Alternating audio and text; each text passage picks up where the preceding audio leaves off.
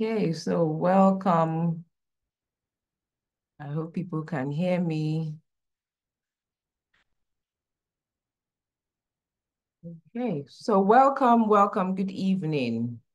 Good evening. Good evening, everyone, and welcome. Welcome to our pre-conference webinar. Welcome, we're letting people in. Good evening. Good evening, good evening. Hey, good evening, everyone. And you're very much welcome. We're letting people in. People are still joining. Yes, good evening. Can you hear me? Okay, I'm looking at the chats.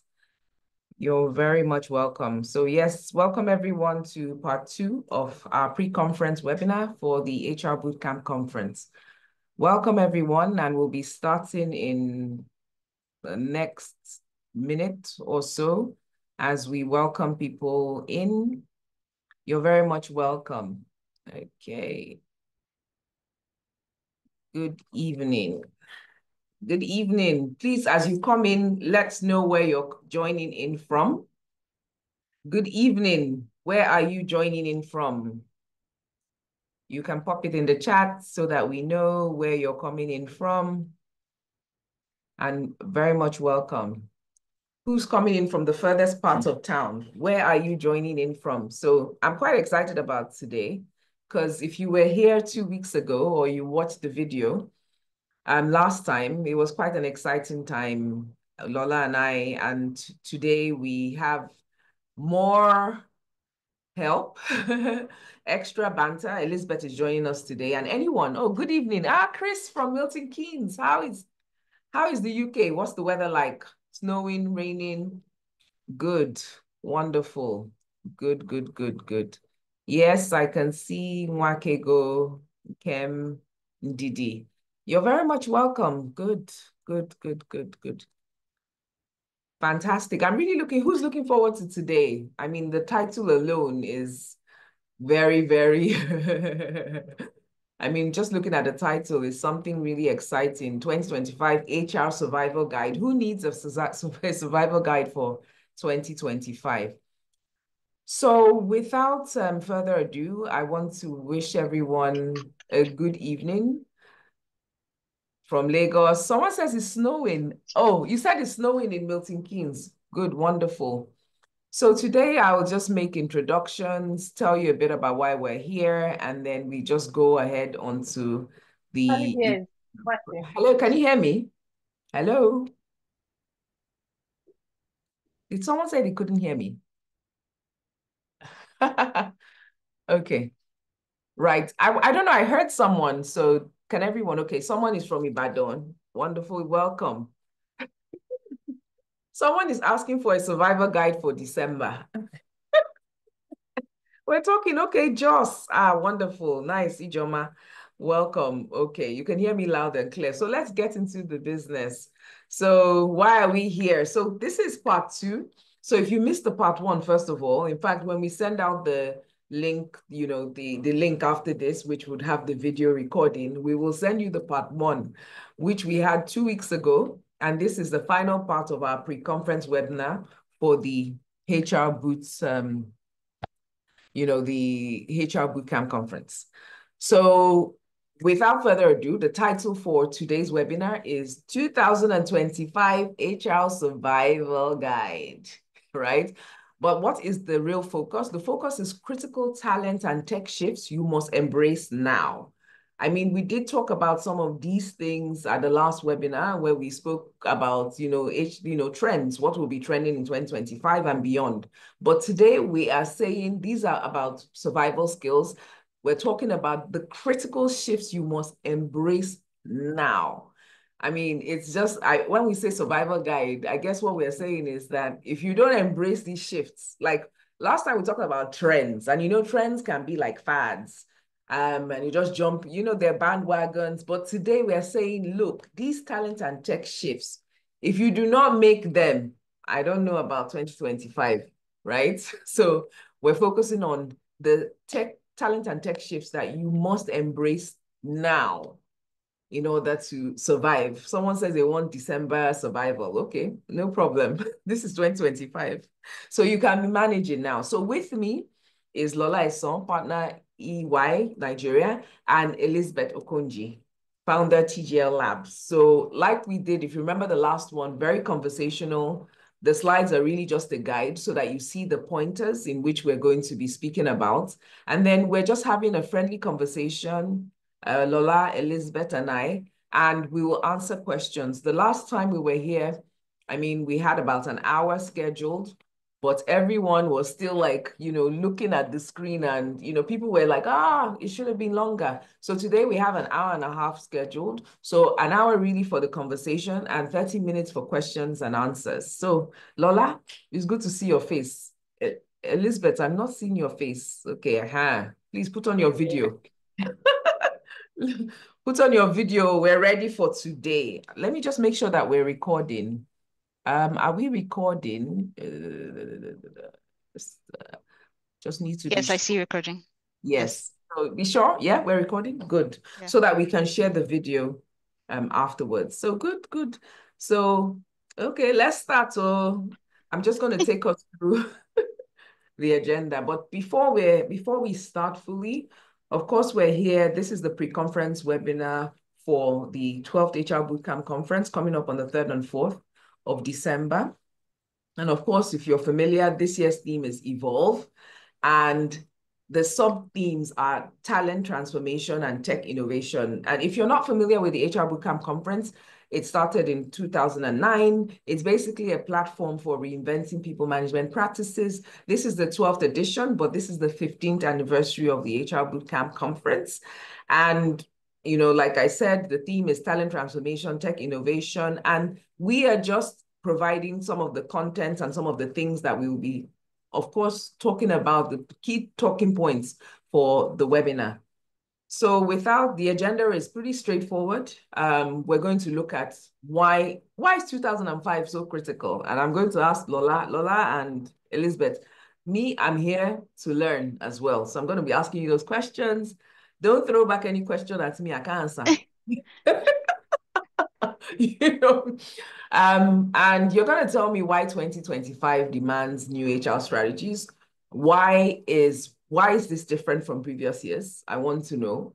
And um, what we're going to look at talent shifts and then we're going to look at the tech shifts, okay? Because last time we looked at the trends, the combination of trends around the HR space. I want to look at the talent shifts and I want to look at the tech trends that we must embrace today. And then, of course, it's not just about knowing what these things are. Action, you know, what do we do? So like actions, practical tips that we can carry away, you know, into our organizations that will make a, a difference in the way we're doing things. Yeah. So I've given you Expo. So what I'm expecting you now is for your cooperation, right? okay. And I'm giving you like, if you look at the slides, of course, it's a guide for us. But um, who do I start with? Should I start in alphabetical order? Elizabeth first or Lola? you know, why is 2025 a turning point? Why we why why should 2025 have a survival guide? Shouldn't there have been survival guide? I mean, we've been surviving since 2020. Why is 2025 different? Over to you, Elizabeth. Ah, okay. I was going to say I pick Lola to start, but okay, thank so, you. uh, good evening, everybody. Yes, good evening. I, uh, I would just say every year, every person, every business, every entity has to, you know, you're looking ahead, you're planning. We used to go into New Year resolutions and all of that. Yeah. Now we're coming out of a period where there's been a whole song and dance around digital transformation, tech shifts, um, come out of the pandemic and taking charge of all of that. So this is a new year what do we do with the time that we've been given as mm-hmm. businesses, as business owners, as yeah. people management specialists on behalf of the organization? Mm-hmm. We have to be thinking about 2025 because this is when a lot of things will culminate. Oh, all okay. the learning, all the fear, all the propaganda in the news, all the Yeah. reports, WEF, Mm. McKinsey, Gartner, everything. What do we do with all this information?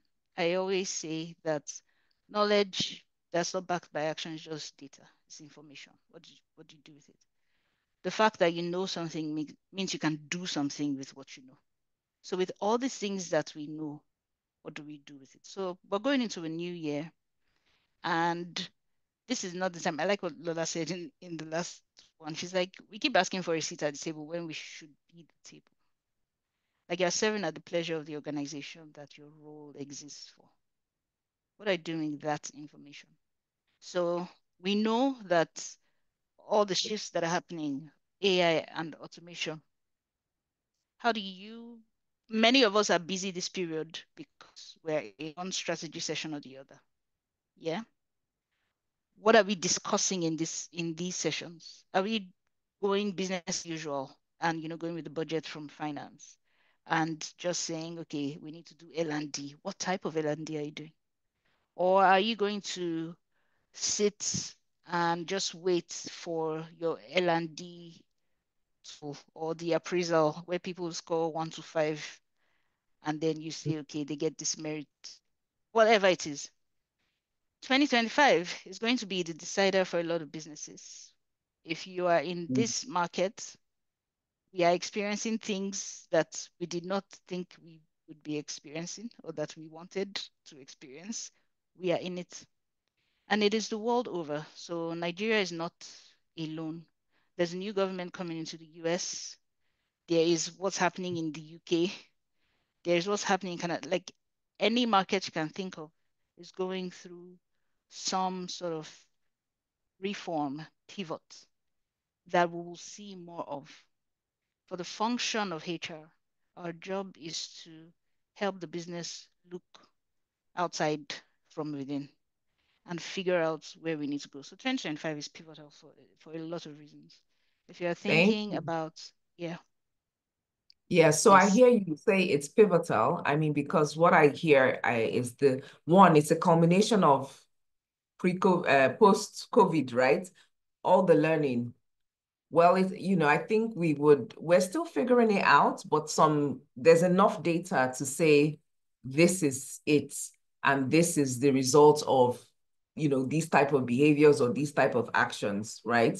So, I mean, we've had 2021, 22, 23, 24. I mean, we have enough, it's it's a good enough time to say this is a trend or this is what the data is saying, and for us to get some serious learning from it, from it. That's what I hear you say. Okay, so Lola what are your thoughts? Why is 2025 pivotal? Isn't it like any other year? Good evening, everyone. So apologies if I sound a bit muffled. I have a bad cold, but I'll try and make sure I'm uh, clear. So, I mean, I think it's like Elizabeth said, right? We are exiting what you call the valley of depression. As you know, 2020 plunked us in there. Everything went topsy-turvy. Everything we know or remember about how business should be run happened in that 2020. So climbing out of that valley, as you would most um, corporate strategies, you do five-year strategy, right? This is now that pivotal five-year moment. Then if you even cast your mind on a lot of the surveys and the statistics and the projections around the economy, the data we have up until now is about 2025. So it starts around the skills that are emerging, skills that are in decline. So it's almost like um, imagine an onion, right? We're peeling off a new layer. The world of work has changed forever, you know. So yeah, anything we did not unlearn is obviously going to swallow up, be swallowed up in the. So those who have failed to adapt clearly are getting ready to die, as they say, adapt or die. So that's one. And I think for HR, um, unlike other times or other periods in humanity, this is the first time that we're celebrating self Yeah, over and beyond your identity as an employee or where you work. So the reemergence of the self would obviously shape a lot of things with respect to what's on offer. Then okay. we now have the obvious economic challenges. A lot of Mm. organizations have had to restructure. So in the last five years, we have seen HR decline in terms of prioritization in organizations. A lot of people maybe you were head of Africa, they've added Middle East, Oceania, and God knows what else, but you're essentially now supporting someone somewhere. So the shift mm -hmm. is, I like um, Elizabeth's point around changing from outside in, right? It's it's it's that 2025 is that year where we're going to have to learn a lot of things, or we're going to test a lot of theories that we have built our value propositions around. Oh wow, okay. I, I like what you said about the the fact that even if we had a five-year strategy, like it's over, right? so 2025, you're going to, you need a new one. Okay. And if you think about what happened 2019 to 2024, geez, I don't even know if, I mean, whatever strategy you had then, we need new ones from 2025 onwards. I think even that alone is is pivotal. And I'm sure some countries, I remember we used to have vision, I mean, in Nigeria, we used to have vision 2020. I'm sure some countries might have 2025, I mean, or something like that. But I hear you definitely. So 2025 is another critical year. And if we're having strategy sessions, it should be the five year one, right? Because it should be what will take us from 2025 to maybe 2030, I guess, because it's maybe because it ends with five as well. It's, it's quite pivotal. Yeah, so definitely. I mean, aside, of course, the still rapid pace of change in technology and changing workforce expectations and globalization, obviously, definitely there are risks. There are also, you know, impending risks. So let's look at some key points because I said we're going to look at two talent shifts and we're going to look at tech shifts, okay? So talent shift one, and I want us to speak from, of course, I know, Elizabeth, you deal with a lot of tech firms, small and medium-sized businesses, you know, I know that obviously, Lola, you have a lot of experience with, you know, firms that you consult for in your firm. So this hybrid and remote workforce talent shift one, you know that all businesses cannot obviously work remotely we've seen the hullabaloo over remote work. There's a big come back to the office thing. We did talk about this at the last webinar, but what we're saying now is adapt or die. Right. So must people adapt to hybrid and remote workforce models? Must this happen? Is this a survival, one of those, if you don't do it, you're on your own, and maybe why? So I think for me, Adora, it's a question of you must, but of course, we take into consideration the realities. So if I use my reality, and I do acknowledge and apologize upfront that I will be speaking from a place of privilege, we're yeah. still at home. Yeah. And if I think of myself as a business leader, I have had my most profitable years leading a practice when my people have been at home. So the question is not where the person is, the question is the value system and the currency of engagement in the organization. Where mm-hmm. I work is built around trust on the fact that we don't need to see you to know that you're doing the work, but we've made investments in tech to ensure you account for the work. We've also okay. evolved new methods of keeping you connected with the mothership. We've made mm-hmm. investments on that support, both psychological well-being, safety, and all of that. So there has mm-hmm. to be an investment to be made in that sense. But then. I realized that not everyone can be remote. For, for example, our factories still require people to mm-hmm. be there to power the machines. But what then will now happen is for individuals caught in that type of employment, your policies around leave will have to be flexible. And mm. a lot of mm. people are doing interesting things. So once upon a time, they tell you for this level is 20 days or not. You now have a system whereby those who cannot come in are leave banking longer days. So, for example, um, you know the laws around how many hours you can do in a week. So they then and so a lot of those people, for example, are on four day weeks, or they work half um one and a half weeks straight, and they get the extra. So the flip side of not being able to go fully remote is that at least you would have some form of hybrid working model. But to advocate for everybody back to the office, you will get transactional employees who are shopping for alternatives that are better. Yeah, yeah, I, I get you. I mean, it's interesting because I mean, we did talk about this last time, and we talked about the fact that yes, it was a trend. However, like, you know, it's it's become such an issue. I mean, you can see it in the, the you know the come back to office is so much, you know, like even firms that had two are saying we're going to do three. Like there's such a strong, you know, push from senior management to come, you know, to go back to either fully on site or more days on site. Um, Elizabeth, what what are your thoughts on this? I mean, which side are you on? I know you work with firms that embrace it, but I think one key thing to point out because we're talking about practical steps is Lola, you keep emphasizing the fact that it goes with technology investment. So if you're having problems with any form of hybrid, you need to check whether you've made the right investments and put the right systems in place because it cannot work without those systems. I think it's very clear, and Lola, you've made that very clear the last in to say that if you don't put the systems that it requires, you're going to have issues with it. But trust issues is a different type of issue. Yeah. Instead of focusing on the people, the trust element, which I see that quite a lot more line managers are having, they don't trust. Why don't you just put the systems? Don't allow trust work for you. Put in the systems that make it work, right? You understand? Put it in.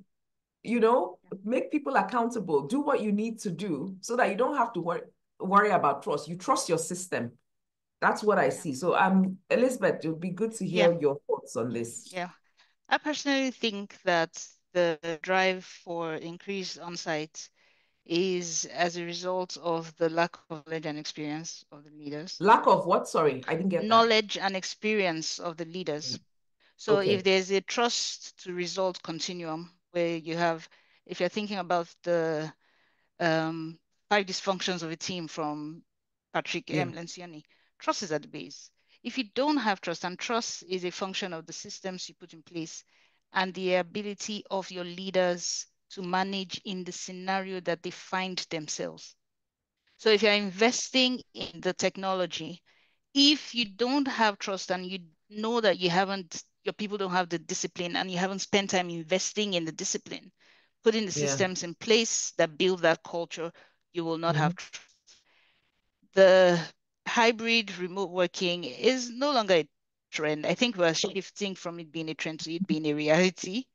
Mm-hmm. Because even in industries where it's not feasible because mm. of the type of work that they do or mm. production. Yeah. They are mm. working in an economy where people are enjoying remote and hybrid work. Mm-hmm. They will want it to. So you can't yeah. put people in bubbles that really don't exist.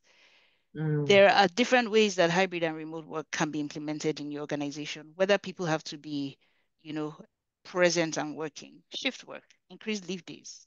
You know, um, some companies have, some industries have found ways to make this work from a long time ago, where you can either have one month on, one month off. We know the industry that does this. Yes, two weeks yes. on, two weeks off. It's existed yeah. for the longest time. So how do we get more creative as as HR people in companies yeah. where the question mm-hmm. really that management is asking when they're saying we need people back in the office is how do we increase productivity? How do we make sure that work is being done? If people don't mm. know how to lead when they're not seeing people, they will not lead when they're not seeing people. They will need people back mm. in the office. Someone needs to bridge that gap. So I, mm. I think it's possible. I think it's a reality that we can't escape. And we mm. need to just be creative in how we implement it and intentional yeah. for what suits the business. Yeah. Interesting.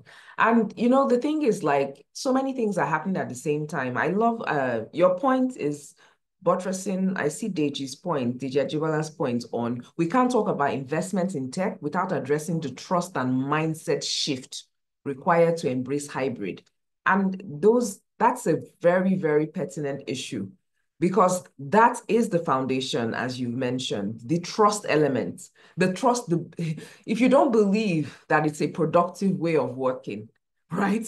There is no tech investment that is going to help you. Well, you know, unless maybe, I don't know, the tech investment is I'm looking at you, maybe it's possible, you know, but I, I mean, it, it's, it's key. The trust is very key. The systems are also very, very important because without those systems, it just it just cannot work because we have talked about the mindset issues on both sides, mindset on the team lead side, but there's also mindset um, issues on the employee side. Employee side. Um, you must also accept that this is a way of working. So the shift is is two-sided. It's not just leaders that need to to to to trust, you know, their yeah. their, their, employees uh, or you know their, their their associates or workers. How you need to you yourself you need to be, need to be trustworthy. Yeah. because some people also like, and I know we've dressed it countless times, their own mindset is that it's a day off. Mm. And it's, yeah. I mean, yes, with quite a number of people.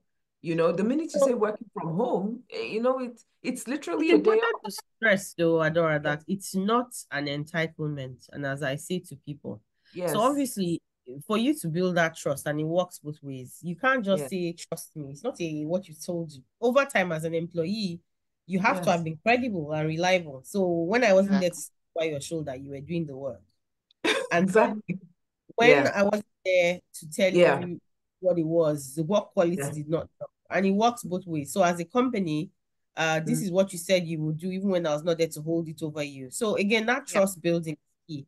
But I think in all of this, even though we're having rich conversations around remote versus hybrid, uh, it does take time to build trust and it can be broken like any relationship and the things we yes. do or do not do. So yeah. um one to note, but I always stress that it has to be context based. Yes. Yeah.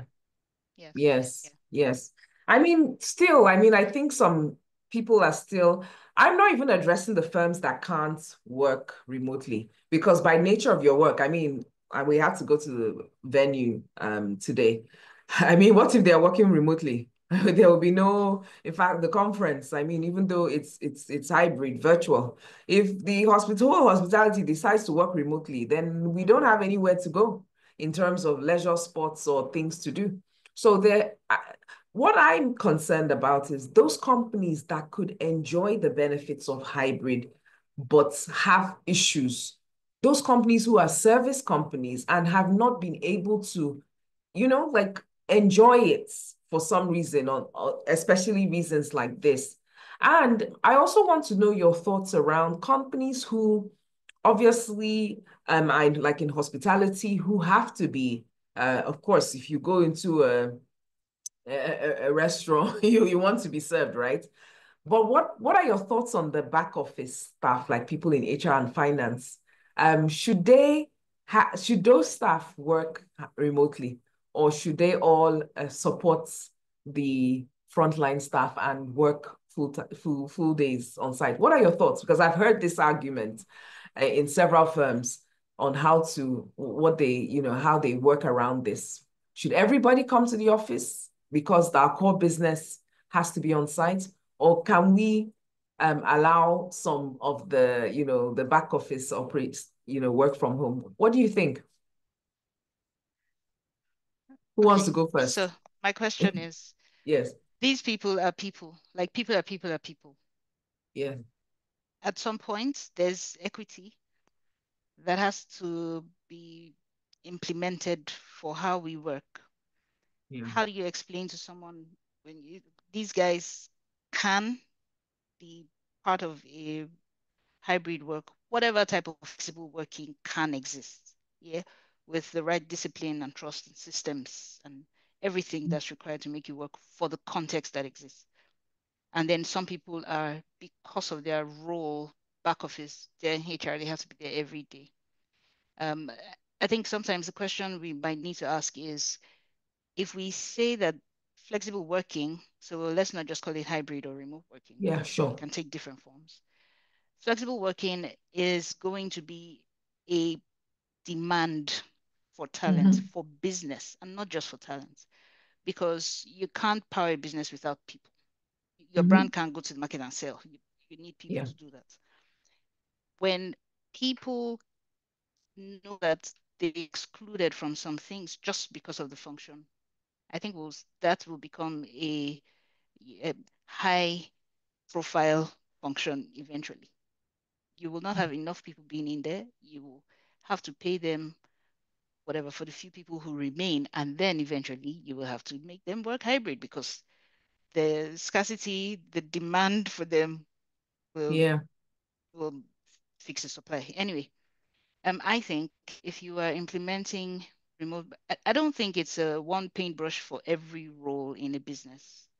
I've seen it work in different organizations throughout my career where we've experimented with different things. We know that not every, we can't say this is how we operate as a business, but there are some functions that can operate a different type of flexible working that Mm-hmm. suits their role. Mhm. Um, Mhm. I'm, Mhm. I've worked in service non-tech organizations where they're like, we're serving people, they're working every day. How do you want us to do the hybrid work? What it calls for is what is the advantage? How do we take and expand, explore the advantage so that we can expand it, making sure that the right guardrails are in place for work to happen in the way that benefits the organization. Lola was talking about her business being more profitable in, in the year where they've not gone back to work, to the office. It's just reconstituting what office means. Like, where are you working from? I'm working from, my office is in my home. As long as I know that work is work. If the tools, factory, whatever you need to do is there, do you have to be there every day of the week and then you have 15 or 18 days leave? It's just the construct of it. When we our minds around it, we'll be more creative in the solutions that we bring to wrapped around the context for the business. It is possible to have um, flexible working in every industry. That's my own. Okay, thank you. And let's move on to the, I mean, let's just move on to the next trend. And I think this is also one that we spoke about, but um, we need to address it in terms of, so that's the talent shift two. Let's do, let's do that. Something we talked about, the skill-based hiring over roles, yeah? So the fact that we must embrace skill-based hiring for greater agility. I mean, last time when we spoke about it, we talked about, I mean, I know I gave the example about job descriptions um, and talking about how the focus needs to really not be a description of the activities, but the skills required. And we did speak at length about how much skills need to be the focus of hiring as opposed to degrees or certifications or whatever. We would need to know that, look, what skills do you have? And we would even need to rewrite our jobs descriptions to skills descriptions so that, you know, people are very, very clear on what they need to do. Okay, so can we explain the, you know, this shift in reality? How, because some people are on this call and they're not really sure, how am I, how am I going to implement skill-based hiring? What these guys, what are we talking about when we say skill-based hiring over roles? So explaining the shift towards hiring based on skills rather than job titles. Yeah, so the era of job titles, how, how does this work in reality, Lola? So it's uh, multi-layered, but if you reflect on what is even happening in a lot of service organizations, uh, once upon a time, you meet someone and they say, oh, I'm a general manager, I'm a senior manager, but I don't know what that means. That's just a conversation yeah. you're having with HR at the end of the month. Yeah. So now service organizations are moving towards people bearing titles that tell what they do and what they contribute to the yes. organization. So that's on the level of the psychological association with what you bring on board and not how senior or junior you are. Then let's take it into the context of demand and supply. So a few months ago, my colleagues and I were mulling over data from NBS and some other sites around what percentage of the Nigerian labor force is actually ready for work. And you know, in Nigeria, we still favor degrees. And when we looked at sort of the numbers, those who hold like at least HND and up, so I haven't gone through what we consider full degrees, it's just about 6 million. And considering our wow. population, that's very tiny. So we say we're young, we're young, we're young. But you have to ask yourself, in that use, what is the talent ready and available for work? That then tells you mm. the enormity of the problem. So it is mm. not enough. So you don't have access or availability of the critical talent you need. So you might as well be engaging people on the basis of, okay, what can you do for me? Who did that? And then that determines what I pay, which is why it makes sense when you reflect on the stats yeah. done by a few people saying that in just a few short years, only 43% of the working population would hold yeah. full-time jobs. Because at the end of the day, there will be mm. such a demand that why do I have to sit down with one company when I can actually be HR manager to 10 companies in that group? I just would ring fence what I can or cannot do with NDA. And it's a mindset we have to accept because now, I mean, think about it. Yeah. You see a nice outfit. You don't think about ditching your tailor in a second yeah. because the person, yeah. oh, that's a nice, who made it? You go to the person, until the person, you know, starts misbehaving, you move on to the next. And that's exactly how it works with skill based. Hmm. And that's when they'll tell you that look, most roles, yes, do all the recruitment you like, do all the whatever you like, but 80% of roles still get filled by word of mouth. And mm. that's just the reality. And then we had an interesting um reference last on part one where we said, if I do something once every month mm. for 20 years, and yeah. I do it every day for one year. Who has mm-hmm. more experience? It's the person who does it one year. So we are now looking for people on the just on the basis of the breadth or the depth of experience yeah. and not the years of experience. And that's why we need to disabuse right. the details in our yeah. JDs around 100 years experience qualification. What exactly do those mean? So that's some I, of the areas we would see. And you know the thing, it's quite interesting you say this, but because it's not today this started. But I think the point we're trying to make is that it's now become critical. I remember when I worked at InterSwitch. Do you know why I got that job? Because they needed to develop a competency framework. I think apart from, I mean, a couple of things, maybe, referral, but honestly, that was what the MD wanted at that time. And on, I'm not trying to be funny, but there were like three people in Nigeria who could design a competency framework. Like, you know, you could count the, it is this, it was the skill. Yeah. But it was, you know, not a lot of people had it at the time. So, I mean, that is, of course, it's a long time ago, but that's an example of hiring for skill. Like you need something done and you're looking out for people who have the skill to do that thing. Okay because you want to do digital. Like some, there will be some people hired now because of analytics.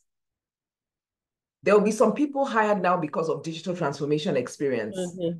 Because they were able to, you know, um, demonstrate and Demo- as they say, they showed yes. they're working. So the yes. evidence exists. That's it. No, and you're someone right. going to hire somebody, a see, you know, someone is going to hire someone because you, your the, the firm they work for went through a digital transformation and they were and part they of that. It. Yes. No, you're it. right.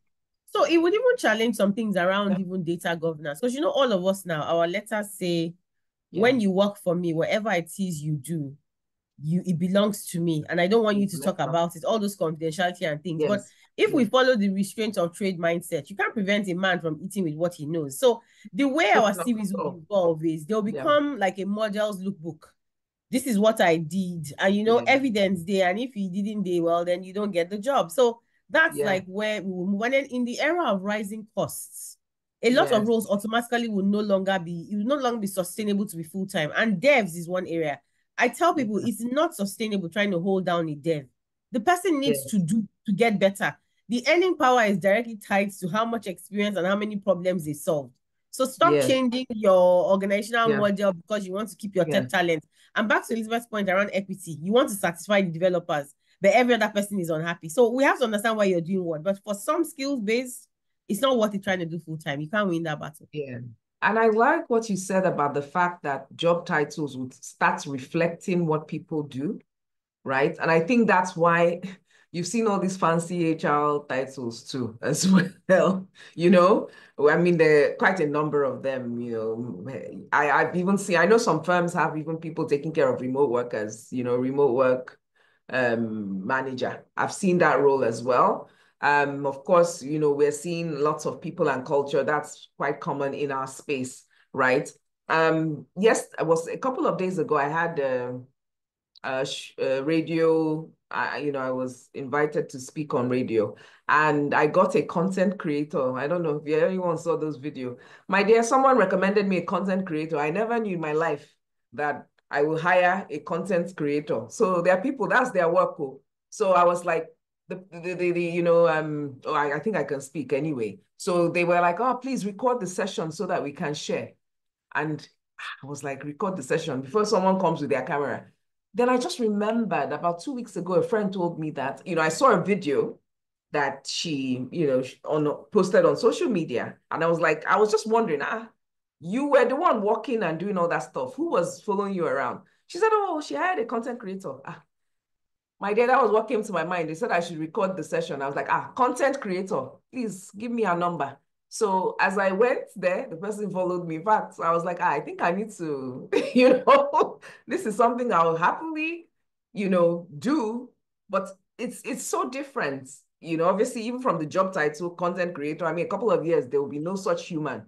But I can just imagine the number of firms that would need that because people are posting a lot on social media, brand awareness, you know, personal branding to company branding.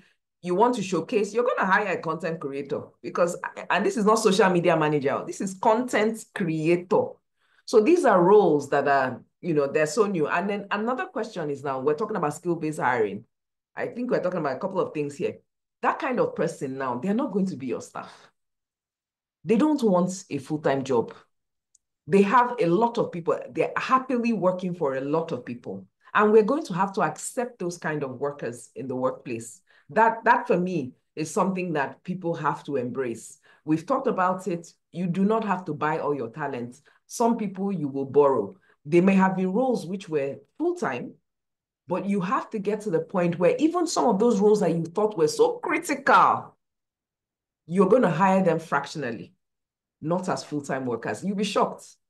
So I think, you know, this is quite an interest. Someone was talking to me yesterday and I was like, um, oh, they need something. And I said, Adora, you're too expensive. I said, you're too expensive to hire. I said, you can hire, I can be your fractional CHRO. I don't have to work full time. I said, hire me fractional. And I know Elizabeth, and I'm coming to you you do a lot of fractional roles. Mm -hmm. So, and, and it's a different way of working. People are not, they don't realize it's, it's, it's different. You can be, I can be the CHRO of five firms. Mm -hmm. You understand? Fractional. All of them pay me what pay me what you paid that other person, but it's one day or it's half a day a week I'm giving you because that's where your money reach, right? yeah. but, yeah.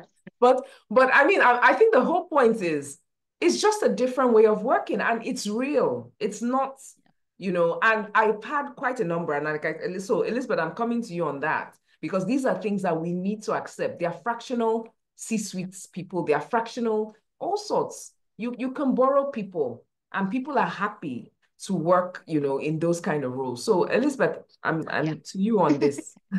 yeah, okay. So thank you for exposing me. I'm actually exposing you, right? I'm sorry. Yeah um, fractional chief people officer, theater, whatever, to about yeah. three companies. Um, yeah. At the moment, running my own company, then consulting and advising and all of that. Yeah. So It, it is. I call it the rise of the fractional. Um, about three to five years ago, I didn't even know what the term fractional as an employment term meant.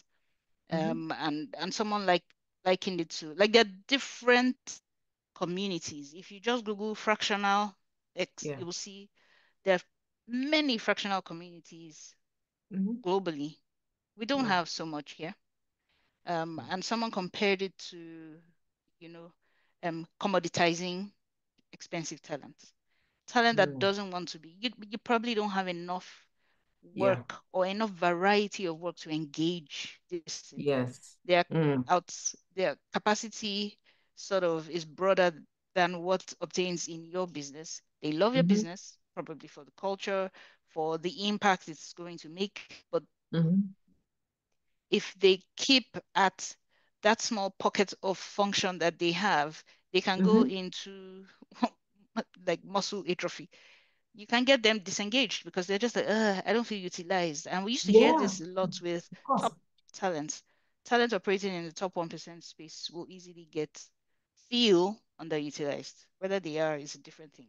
Yes. Now, the world is getting to the point where, and Lola mentioned, for the tech people, you can't, we spent so many years trying to cage them, trying to make them calm, trying to make them, you know, just work in the corporate world.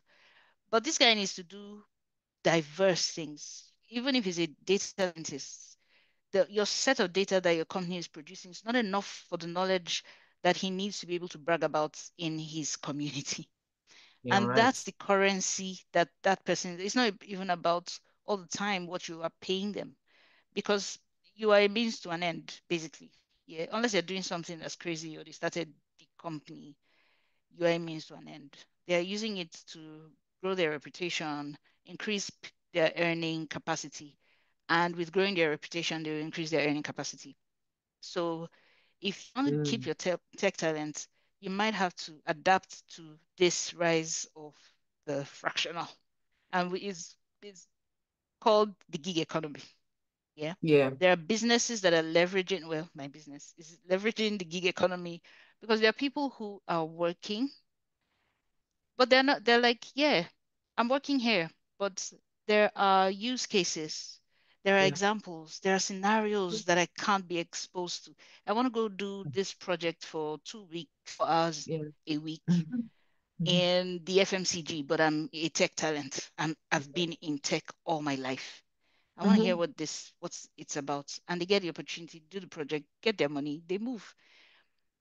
If we find ways to be sort of ethical and progressive about this, we will yeah.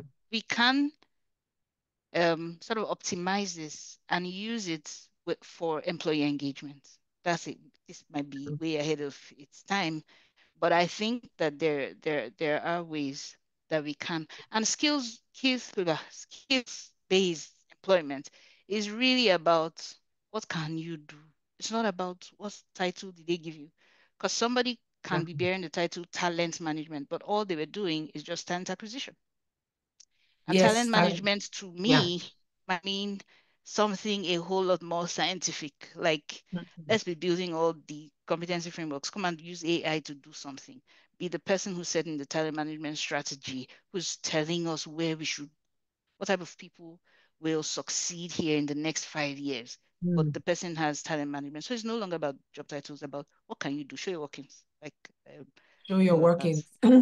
yeah. And I think that if you, I mean, just going by what we just said um, here around skills, it's inevitable.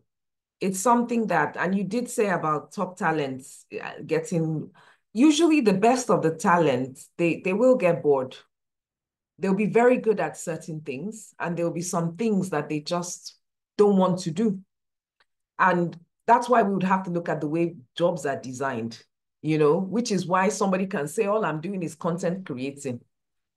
You understand? Yeah. just editing videos or stuff. Yeah. and even in the hr space and somebody says oh this is all i want to do. I i just want to specialize in this area.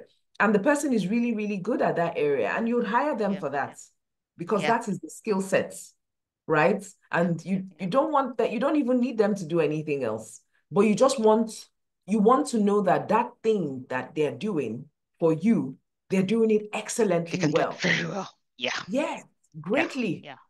And this is a mindset shift because some a lot of jobs when you look at job descriptions and you look at everything in the job description, you know that that job is not designed well the yes. person can be good at all those Everything's things, inside. Right? Yeah. It's quite broad. and that's why at the end they will add and any other any so that yeah, jack of all trade, master of none. Yes, so that they can put some more in that job. But we're going to yeah. see a shift, right? Definitely. So, you know, so this is definitely one that we need to really look out for skill-based hiring.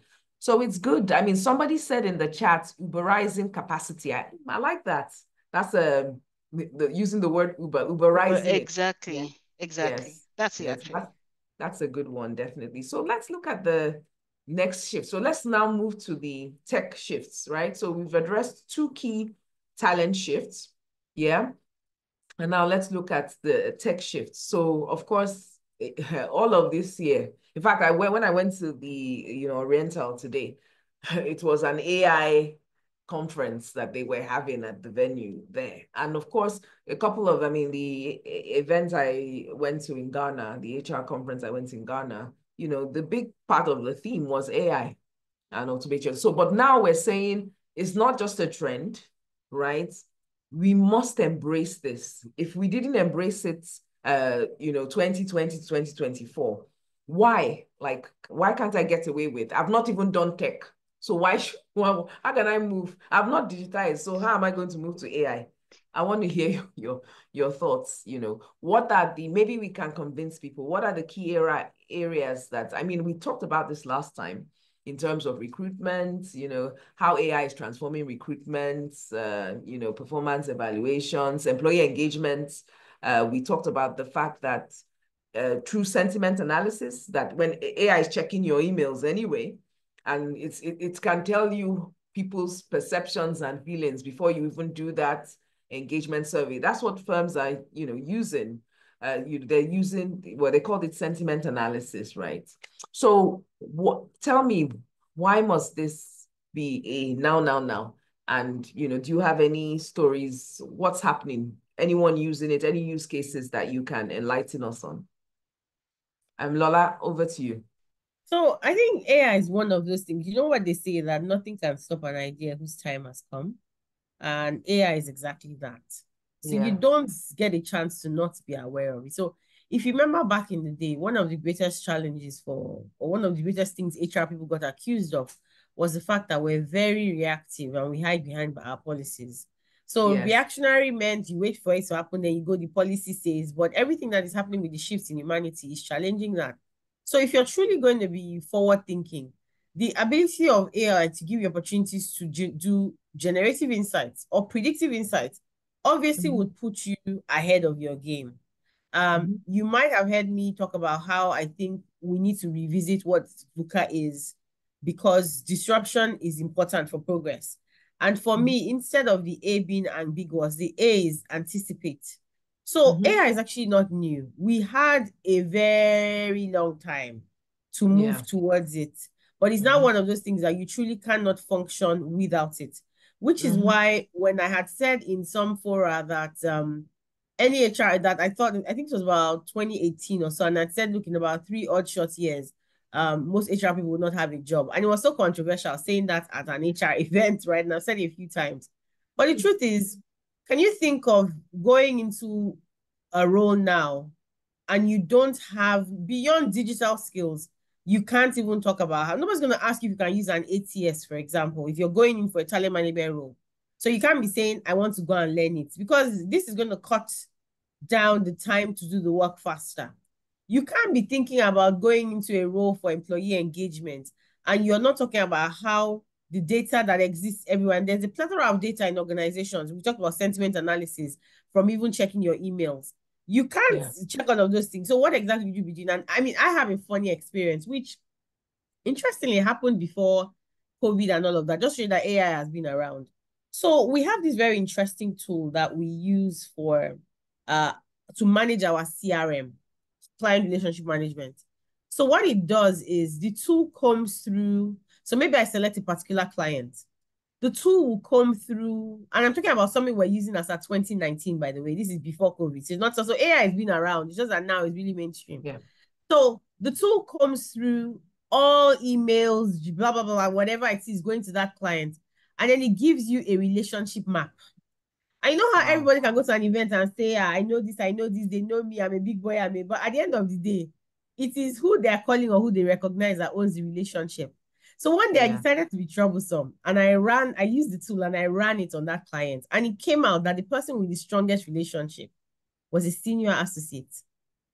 So you see, that is using data. To, and for those who understand how consulting works, a senior yes. associate is next level, level two. So if that client that's supposed to be a very big client, the senior associate. So you know what that means is obviously that's data to go back to your partners and all to say, you guys are not doing your work. You're not engaging with the clients enough. So those kind of generative insights are the things AI will do. So today, for example, why mm. are you hmm. waiting for people to leave when AI can tell you who is likely to, to leave. leave. based yeah. on analyzing data so that you can have the stay interviews very early on. So it's yeah. like how all of us went and learned typing with the bootleg versions of typing tutor. So we're not finger typing. Everyone just needs to get on board and learn AI, one AI technique in one way or the other. As I always say, mm-hmm. our next career plan as HR people is to become data scientists because it's yeah. insight to be selling. Nobody's interested in your policy. Why do I yeah. need that policy? Why do I need to adjust it? Why are you saying remote work? What is the data telling me? And AI is that power and that tool, and it will cut short yeah. um, time to plan. Yeah.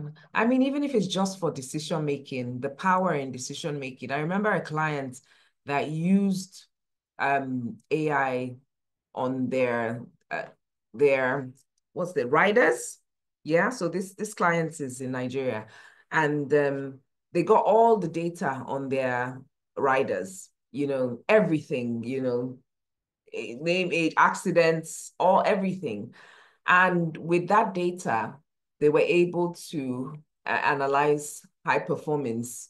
You know, so what are the the what what what are the characteristics of people less likely to have accidents? Because you know that when it comes to um, riders uh, dis dispatch, you know that accidents is like your worst nightmare because if they have an accident, of course, it's a health challenge, it's an insurance challenge, you know, life is involved. So it's a big one. So imagine, and they used, because they had collated so much data from all the, you know, the, the, the rides, and they were able to use it to predict the profile of the person least likely to have an accident. And they, what, what did they use this for? To, for recruitment. So they could recruit better. Okay, so they use the insights to guide future recruitment. And it's the same way you say, of course, you can predict who is likely to leave based on the profiles of, if you have enough data, you look at all the, you know, the profile, all the data you have of all the people who have left, you will find some trend there and that can help you. So I think recruitment has always been a very great use case for AI.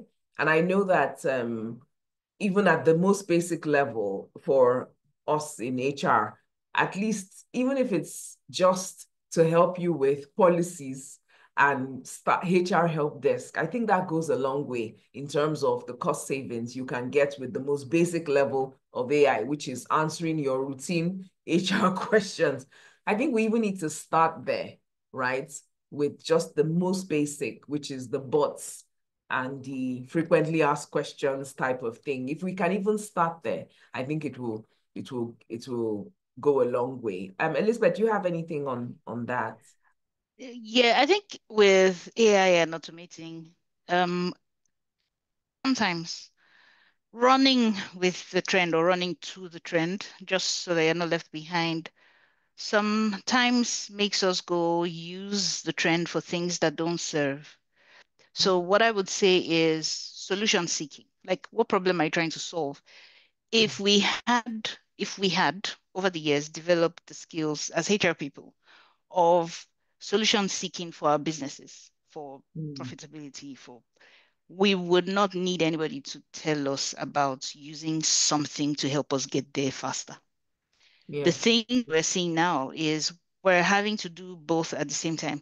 We're, we're having to seek solutions for business problems, not policies, not about people, not about not wanting to set yeah. precedent. That term is very annoying. But it's not about all of that, but why? And when you do this, so what? We're not answering the so what question. We're mm. just maybe more conscious about rolling out initiatives that are people driven, not knowing yeah. that people driven initiatives are supposed to be business drivers. We need more practice with that mindset as HR people. If we had that mindset, we would be leveraging and jumping on any trend that helps us do this better. Yeah. AI and automation is that. We cannot escape it. The world, it's an idea that its time has come. Um, yeah. We've been using it, by the way. The autocomplete on your phone, what was that? That was AI. That was the, AI. That was AI. Banks that are trying to decide um, who to lend to with data, just how you spend, and then they figure out what your score is. That's AI people are putting yeah. in data and they're trying to determine things out of it, but they're doing it in critical mass with the help of artificial intelligence. That's yeah. one. Or HR, all... if you're exactly if you are yeah. if you're figuring out if you're trying to solve a problem. I'll give you an example.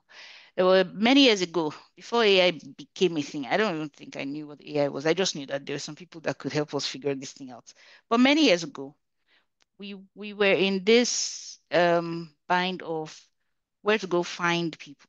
Yeah, we found out that the two ones and the first classes of this world were not giving us the results. They weren't coming in with it. Like you had to invest a lot more in consequence management with these guys in this particular company that I was in. So it wasn't about the category of your degree. We Yeah. then started, but there were a bunch of people that even if they go through a management training program, there were just some people who will come out and all the time. And one of my teammates says, ah, it's from this university. I won't call the name of the university. It's from this Mhm. university. And I'm like, hmm, okay, let's go and scan everyone who's come from this university. What do they have? Do they perform like these people? Let's see. Majority of them did. And then, so let's not just then go and make our hiring, just go and hire from that university because that's what we typically do as HR people. Yeah. But let's Mhm. go find, Yemi Fashion, I'm not there. Let's go find what is the difference? Like, what are the skills that are differentiating these people? Yes. And Mm. we had to use data, like get creative. Is it about how they show up for work? Is it how they Yeah. lead? Is it what their leaders are saying about them? In 360, what are the things, the behavioral things that differentiate these people? And then when we got this data, we asked the IT people, I know then the tech people will be like, yeah, disturbing us HR. What's HR doing with this one? You know, HR, have you finished payroll or have you done all the regular things that they'll say? And we're just like, just help us put the data in. And then we found, we went with these behaviors, like we had brought out these behaviors and we said, okay, let's put everybody in here and let's go find the people that are demonstrating these behaviors to reliably consistently. We were looking for minimum of six months of consistent feedback of these micro behaviors. Yeah, it, it, it takes work. And then we found them and then we could, we started trying to think, okay, how did we hire these people? Some of them came through referrals, word of mouth, because they've done something, they've shown working somewhere. It's not, it's no longer a job title they had before, but what did they do? Yeah. And they got in. So we started testing this good people, no good people theory. Yeah. And it was no Mm. longer just about theory. It was about, okay, for the people who demonstrated this, that it, they, were, they didn't come through a referral, we put them in a focus group and started asking them questions. So what was the thing that helped you? This thing helped us streamline our hiring strategy for next year. And we put in a, a should I say, like a hiring criteria for if they finish at the end of their probationary period, what do they score? And at the end of that year, do they end up in our top percentile? Yeah. And everyone that we use this data that's farmed with artificial intelligence with the help of the tech team was ending up in the in the top criteria. And they were not your two ones. They were Mm. mostly not your two ones and all of that. So it is what problem are you trying to solve? And are you ready to do the work? We are no Yeah. longer going to be arguing about whether we adopt. I was in a conference where I was asking, how do we find some people are writing their CVs now with the help of AI? And how do we fish them out? And I'm like, that should not be your problem anymore. About whether they're writing because now we're looking at the job titles. We're no longer if we're focused on skill-based hiring, it shouldn't matter whether they're writing their, their CVs with the help of AI. In fact, if you should want them to write it with AI so you know at least they can it well. Did they do it well? And that Yeah. can be so uh, Yeah. I think we are in it is how Yeah. do we prepare ourselves to use it well? Is the use case of AI that Yeah. will set us apart and not whether we use this, how we use it. Yeah, I like the points you make, and it's interesting because at least, yes, I mean, of course, if you hire now, you you would notice a lot of AI usage in it. I mean, in back in the days, one of my favorite assessment methods were essays, but obviously, you know what has happened to that then. Um, now people use AI to write their essays. But you know, the thing about it is what's even more annoying than using AI is not using AI well. Well, So, so you still get found out that you yes, used AI, but and you didn't even use it well. So it's still going to show because I, I feel like, I mean, I know that AI and anything is it's an augmented intelligence, right? It should it make should you, be. yeah, if you're fast, it makes you faster. If you're, you know, it just instigates or well, at least it adds to what's already there. But one of the worst things you can do is not use it well. Like, you know, direct the lack of skill to that as well, because AI will make you look really, really like you know, yes. it will make it look worse than it is. Yes. You understand? Yes. Because it will be so clear that this was not um it doesn't fit and you, we all know about ai and its hallucinations so yes if it takes you on the wrong path it will take you so far and when you yeah. present that as your work you're just going to look like you didn't even know what you were doing at all so definitely i mean that's one. So that's talent um tech shift one. Let's look at two. So we've talked about and i know that at the conference one of the master classes around um, ai and using at least, you know, using chatbots and using AI generally to improve your HR processes. And I think this is one that we should definitely be looking out for because, like I said, there's different levels in which we can actually start to implement this in our businesses and our processes. Um, I, this is one that has been around. And I know Lola already mentioned about us being data scientists. We can already see it in the types of jobs that obviously exist now. There's a lot of data sciences, data analysis. These were roles that, gosh, maybe five years ago, you would not see them as key jobs. And they're not just jobs, they're skill-based jobs. Because when you see data analysts, it's not just describing the role, I'm, you know, it is describing the skill as well. And I, I guess this, you can see how this all intertwines, the skill-based hiring and the skill sets that are actually required. So data-driven decision is one that has been around for a while, making data-driven decisions. If you've not embraced it, what we're saying now is that this is a shift that you have to make for 2025. Um, why? You know, maybe Lola, can you go first? Why? Why would this be different? So you know how they say data is the new oil.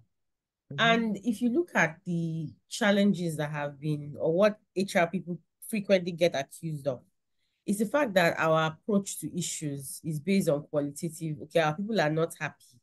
Mm-hmm. Let's increase their salary. But why are they not happy? What is the why?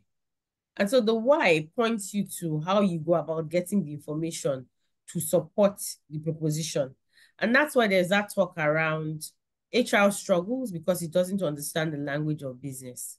Now mm-hmm. interface that with very harsh economic climates like everyone's going through globally. No one's going to take you serious if you're saying that people are not happy. We too, employer, we're not happy.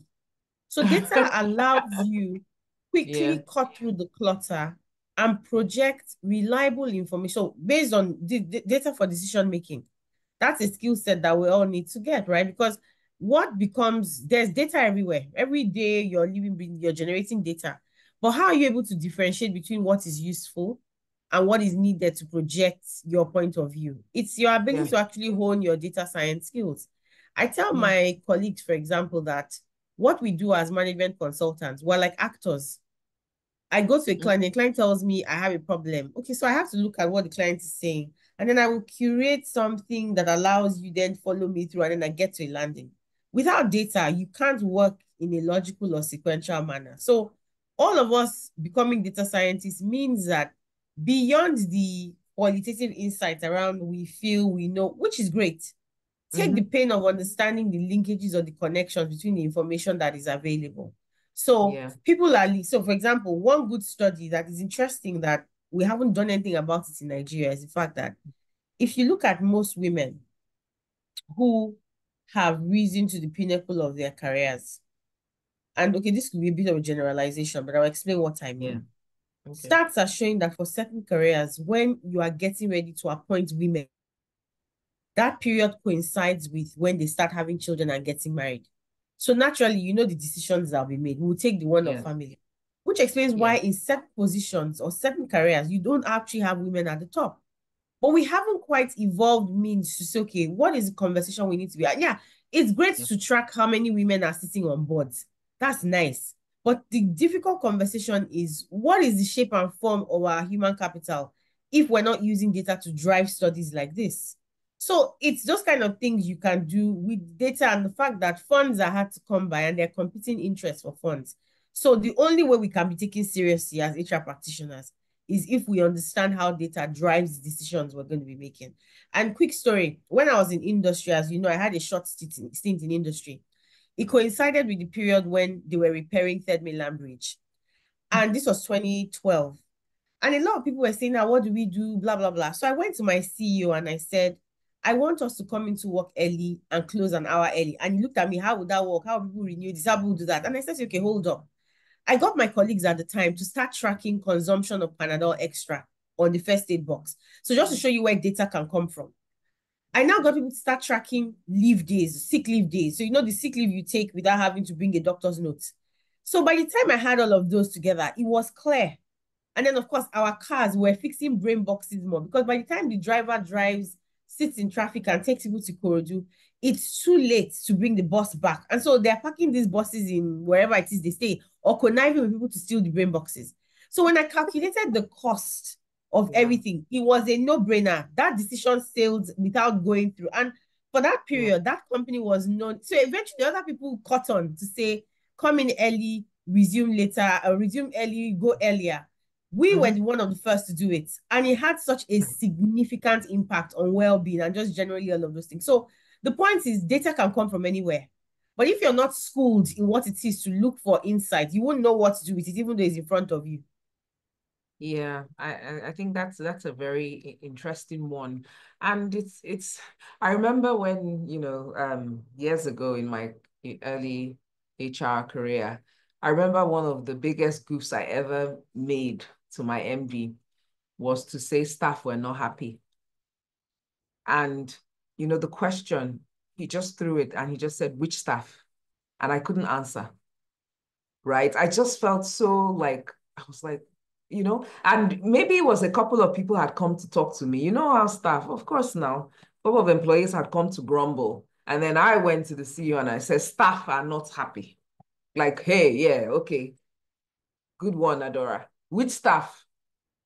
Couldn't even say anything. I, I, I think that was the last time I ever made that type of sweeping statement without data, you know, because you just, you lose credibility um, when you're not able to back your your initiatives, and that's why they keep getting rejected, right? You you lose credibility, right? How can you tell me even now? I mean, like we as humans, we also tend to exaggerate things.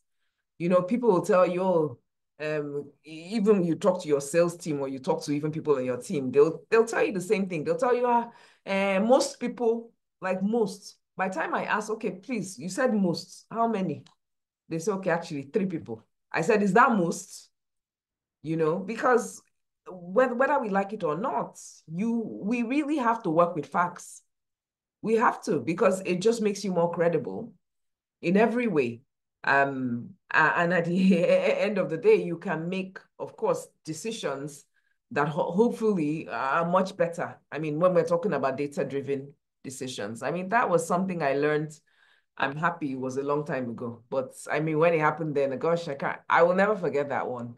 Yes, um, let's look at the next. I think it's the, so this is, I mean, we've talked about AI in terms of tech shifts, and then we're talking about data-driven decisions. So let's look at, you know, key actions. You know, what can HR professionals, not just leaders really, what can we do? What should people, what should be in people's action plans, right? So of course we can summarize, but you know, and I, would like to hear what you, um, Lola, and I'd like to hear what you, Elizabeth, think we should be adding because people want to know what do I go away with? What are concrete steps I can take? And if we were to summarize it, of course, starting with the first shift that we ask people embrace, right? So a couple of shifts, upskilling, of course, I think this is something that we flogged um, not just about you know your, your workforce, but as you as an HR professional, we talked about data science skills, right? Even just opening your mindset to embracing these things, because a lot of times, um, because we don't know how to use it, we don't embrace it. Um, and of course, when you you don't embrace it, especially if you're a leader, your whole team is not going to embrace it. But you're the really the one in the way because your team especially the younger members of your team, the Gen Zs, they are very open to this, you know, very, very, in fact, they're so happy to use these skills. They already have them. They're born, you know, using these skills. So invest in upskilling. We've talked about flexible work. If your firm has the opportunity, right, for flexible work, right, in, consider, there's so many benefits. I think even for me, one of the biggest ones is that talent pool.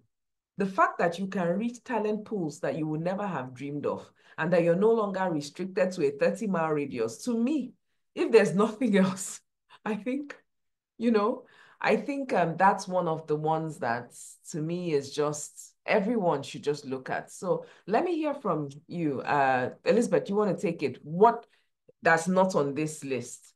Yeah.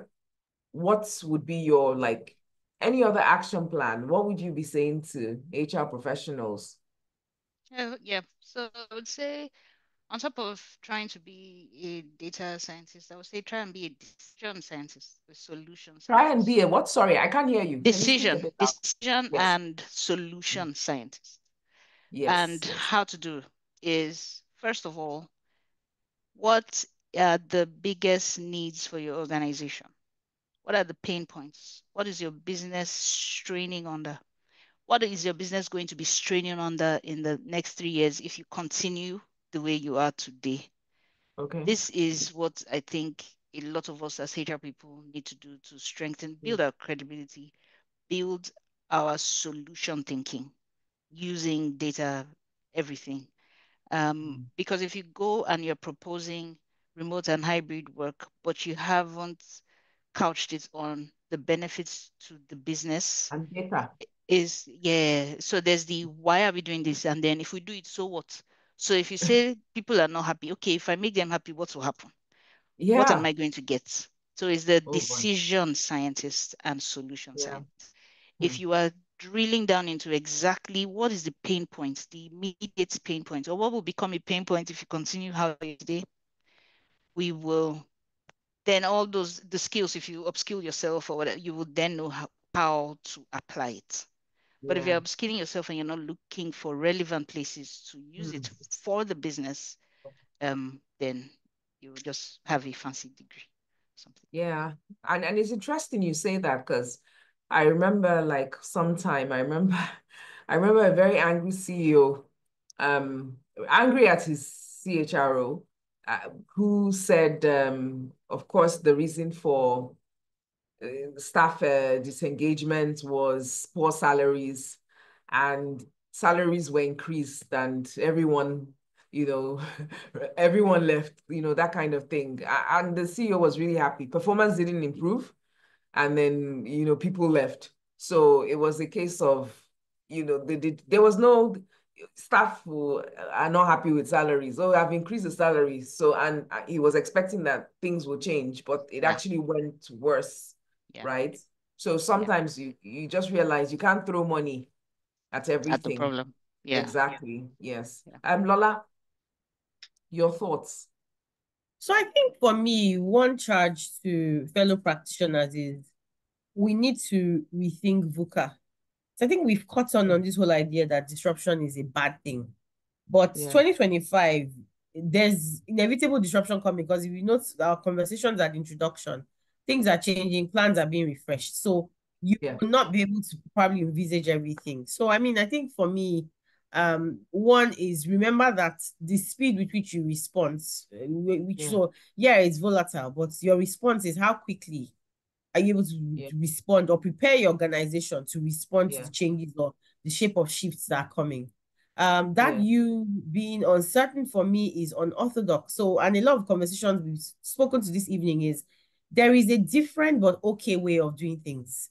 So you can't give mm. people everyone factory work, uh, flexi time or remote work, but then you have add-on policies to ensure that that is done. And the only way you can differentiate really is if you're thinking about what else can I do to make that differentiation. And honestly, looking at the tough economic climate, it is yeah. the level of differentiation and creativity. Yeah. No, you can't that race to salary increase is a lost one. You can't win it. You know, race mm. to the bottom it is because we need to increase salaries. I was saying to someone, I think it was webinar recently. And the question yeah. was if you're asking me to increase salaries, right? Just that's the only right solution you have. It has to be paid for, for somewhere. So you're either yes. going to do a headcount reduction or you will move things around such that your longer RSA, you notice your RSA went down, but your monthly went up. You know, so all those creative things. And then that C is co-create, which is very important. For too long, HR people, our heads are just in a sandpit. I can't tell you what I'm doing because that's my competitive advantage. If I tell you, then you take my people. Well, the question is you have to open your palms to receive. So we actually need to be deliberate about creating communities of practice. You should have, and you and I, we've had this over the years, right? We bounce off ideas of each other, and there's no competition there because the minute I'm engaging or discussing, a light bulb is going on for the next big thing. And so the mm-hmm. biggest shift will be our mindset changing, that mindset as to what exactly disruption means. And then finally is anticipate. If you're waiting for it to happen, then your response will now, you know, you just kind of come up with a response. You will always be playing catch up. And mm-hmm. your eh, your MD to you to help with that differentiation and that identification for how to remain competitive. So I think for yeah. me to be let's rethink VUCA and then of course emphasize the power of communities of practice, belong to a community and shape engagement. Yeah. So one thing I want to, and this is before I hear from you, Elizabeth, is maybe some of the things we've not addressed in the wider, would I call it the external environment, the political environment, the economic environment. How do you do all this in the face of the economic hardship? I mean, like, are we in a recession or depression? I'm not really um, sure what the economic statistics say, but I remember taking a walk last week. Ha, I overheard two drivers speaking in my estate. So, and one of them said, and the only thing worse than this now war. Ah, and it never bad like this before, you know? And, you know, I was just like, gosh, ah, now war be the next stage. And I was just like, wow, you know, I mean, it's a state worldwide is, is is something else, but the Nigerian situation is deep economically. I mean, let's talk about it. How do you people's mindsets? I'm not even sure they can take this stuff. I mean, it's good that we're talking about it, but where where in that mix does this come? Because me, when everyone is complaining and talking about people, I always say you don't know what's doing them because things that people are going through a lot um, economically, financially, mentally, emotionally. Yeah.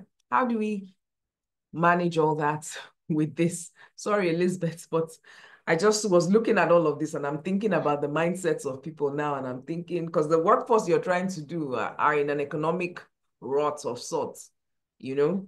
The HR person too is just thinking, look, me, I'm tired. So I'm just trying to put context into it because I know that the world has been going, you know, topsy turvy uh, in the last, you know, couple of years, especially this last year. Especially Your thoughts? Yeah. I, I, this is a hard one because. I, sorry, all... I can't hear you. Can you speak louder? Okay, I might need to take this off. I said this is a hard one because yeah. we're all like I don't have the answers. What I just know that the world needs more of is empathy. I yeah. think there is the action of empathy that makes people know that we are in this together. We're not HR one function that the class prefects of everybody, the police yeah. or the, you know, we're human, humaning this thing together. And we can't throw money at every problem because look, we, we will not have a company for us to identify with if we keep doing that, right? Mm-hmm. But where is the proactive? This is the one that I works for me in like in different and I've seen work with leaders who get coaching around it. Coaching is one way where people proactively get to confront issues in that are sort of elevating themselves in their minds. You know how something can seem like it's bigger than it is until you yeah. address it and you can walk through it as smoke. If we can mm. create with empathy healthy outlets for for this, for people to maybe express so that it's not an eruption of an expression. When people, it's, it's almost like we're in a pressure cooker you know, yeah. see the conversation we are just talking about.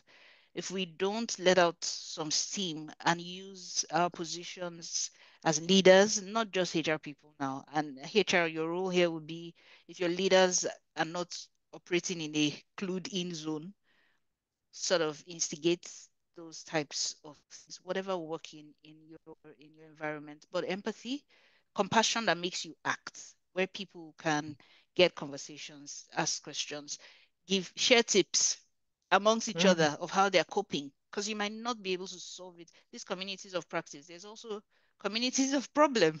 So you can share. And I think it's just if we are thinking that we're beings together and we're allowing compassion lead us to act and not just like the people wielding the policy or thinking we want to defend the organization. Um, the organization will not exist without the people. And if the people also don't I can't hear you. ah, the organization cannot exist without the people. And the people, if we're, if we're not defending the organization, we will also not have an organization. Yeah, we right. have okay. people. So I think empathy is empathy is a big one. Yeah, I guess um, you know definitely. And Lola, so what do you have to say? Final thoughts before we go into Q and A. What are your thoughts? Oh, I quite like what Elizabeth just said now around empathy. And then I would even interface it with that quote that says, um, in a world, if you can be anything, be kind. Too many people are offering these supposed enhancements or improvements in policies is, is attached to something. So come and take these benefits, but you sign here, you do all sorts. So you are saying what should be the organization's empathetic response to the fact that we're all in this together, we're struggling. But while I get that we need to try and make sure the company is not giving it all away. I think we need to be very careful that we're not bringing out these benefits in a quid, quid, quid pro quo manner. Because trust, mm. trust me, people can see through the sincerity or lack of. Yeah. So I'm giving you a pay increase. Oh, okay, we clap for you. Is skinny cock in the cup percent. We clap for you. But what you've done is you've moved things around. So my pension has gone down or something. Yeah. Or you now yeah. say, oh, I will pay you this benefit monthly. So just mm. trust yeah. that back to that trust, that openness. You've hired yeah. adults, treat adults like adults, and let let's have that empathy. So put yourself in the other person's shoes when you're doing things, and that applies to how we do the business of HR as well.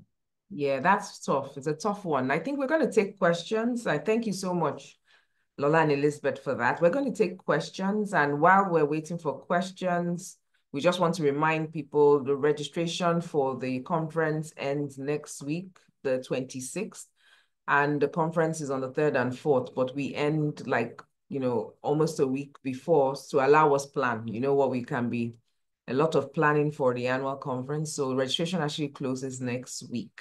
So if you haven't registered yet, ensure that you do.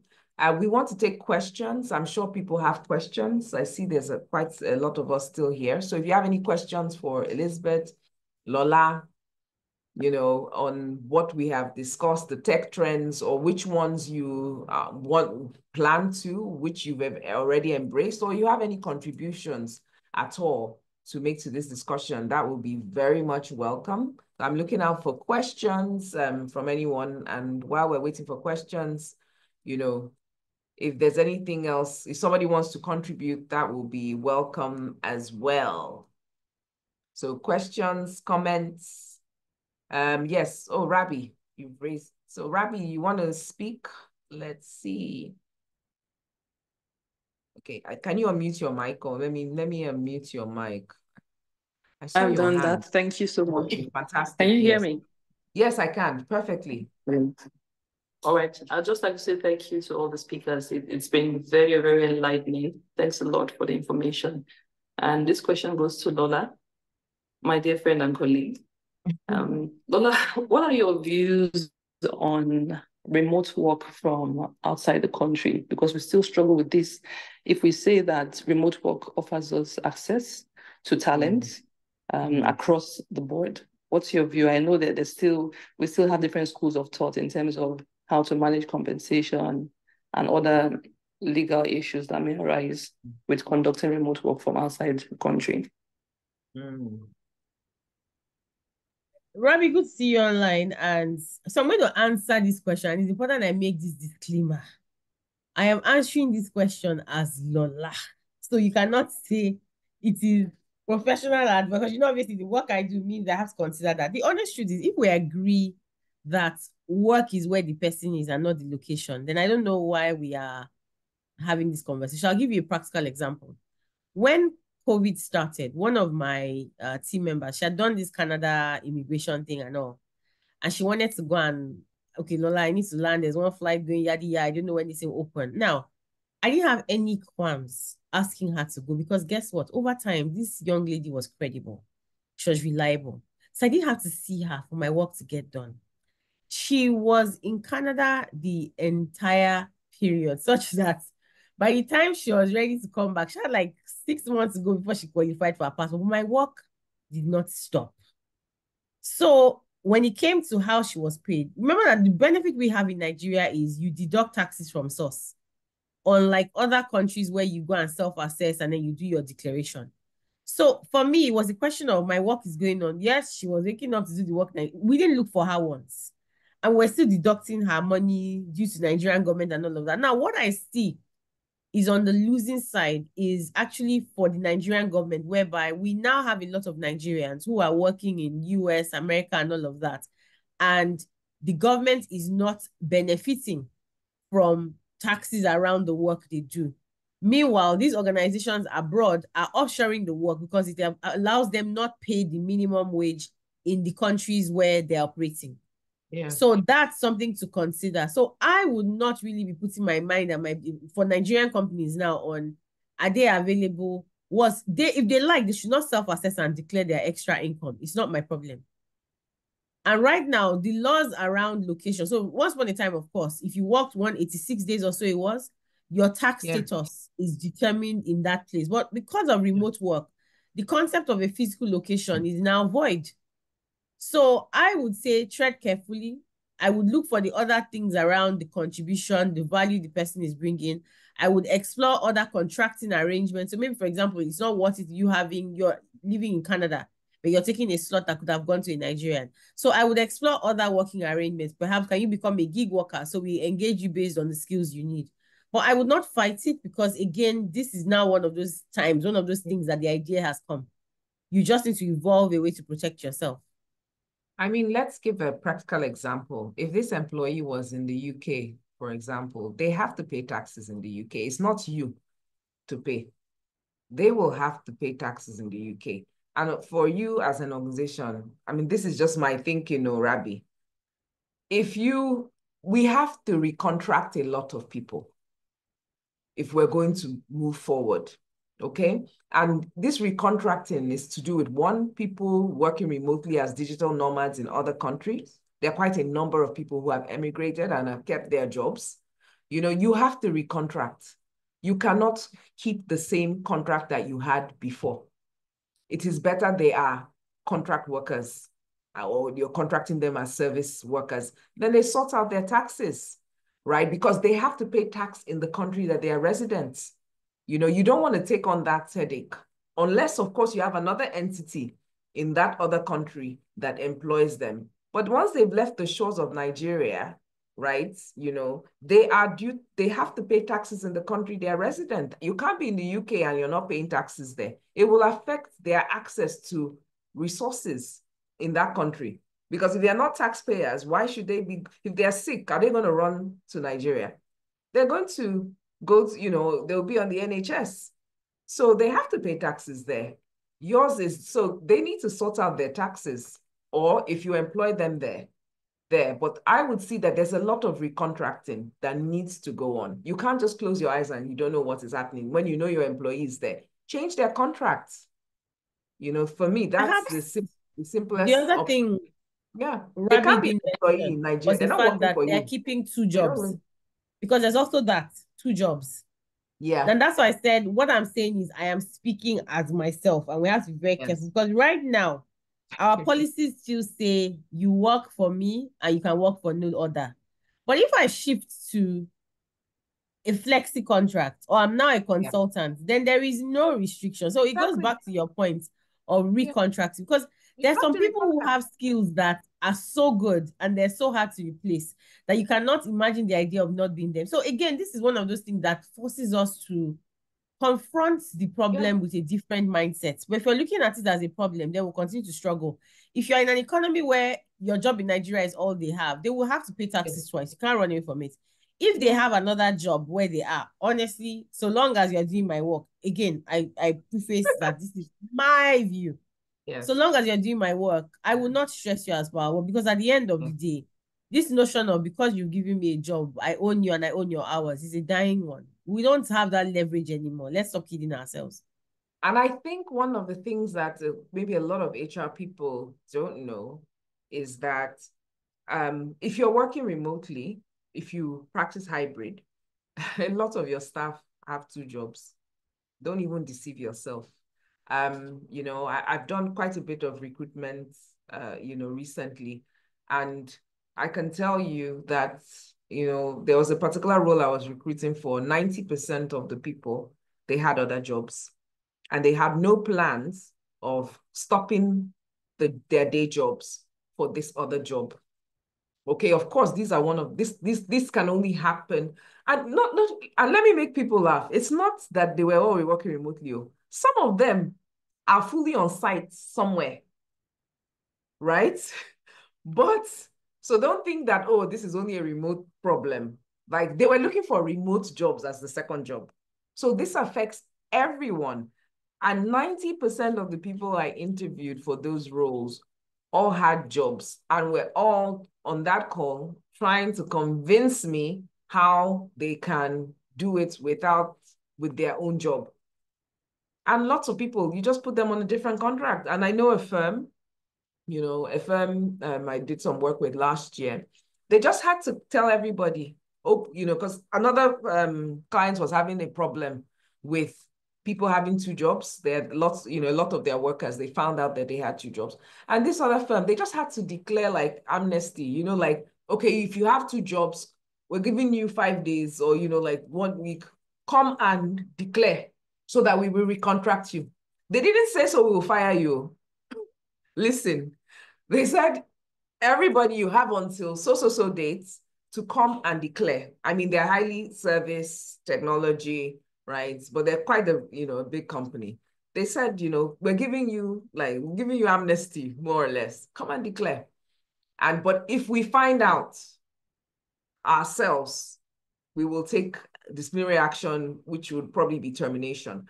But if you know you have come out declare your second job, we will just change your contract because you cannot be working for two of us.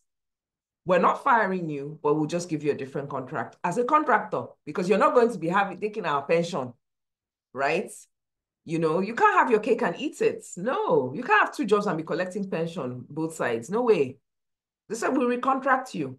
Same terms, but you know, no benefits like that we give our staff. And yes, people came, you know, and people declared, right? And that was it. And continue business as usual with their performance management systems. If you're slacking in your job and you know, because you're trying to serve two masters, ah, they just performance management system will just sweep you out.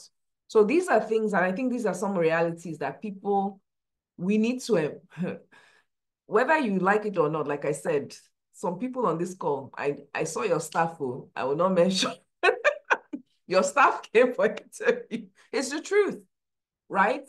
You know, you think they have full-time jobs. I think we need to accept that these are the realities um, of life. And how do we manage it? I think that's the real question. So do we have any questions? We, you know, we just uh, have a few minutes for questions. Dara, and... Dara's got her hand up very well. Who? Sorry? Idara. Okay, Idara, please go ahead. Good evening, uh, everyone. Very great um, session. Um, I mean, it really applies to what I do. So I just wanted to ask. Um, so we've seen we've talked about um, skills-based jobs, skill-based role, right? Um, and how you know when we're sourcing for roles that we're look, not looking necessarily looking for people that have first degrees, you know, and all that, people who have served in Nigeria. How do you balance that out with like the Nigerian labor laws? So because, for example, we've had people coming for interviews and they're like, look, I don't plan to, who have worked with other organizations, possibly like global organizations, and they don't plan to serve to do um, wow. national youth service, right? And he, like the candidate says, look, I blunt, I'll never serve, right? But he had the skills that we needed. So um, a lot of people having to source for people in the, because I work in the tech industry, they're having their skills straight from school right? So they're they're you know they're having that skill, and you can see comparing them with people that have first degrees, you can't compare it. The, the um, gap is quite vast. So how do you how do we balance that out? Because that's something that I've been thinking of. Because at that point, my my um, MD said, "Look, we're giving him the exemption, so we need him. He has the skills. He's going to do the job, and we give him the exemption." So what how, what are your thoughts around that? Um, you know, how do we manage that? You know, and all that. Just wanted to. We talk openly. I mean, Lola, how do you deal with that? Me, I've said contracts already, oh, because I mean, I don't the, see if the law. The law is the law. However, yeah. there are opportunities to now. The only person that gives exemption is yeah. really the Nigerian Youth Service Corps, and the parameters are very clear.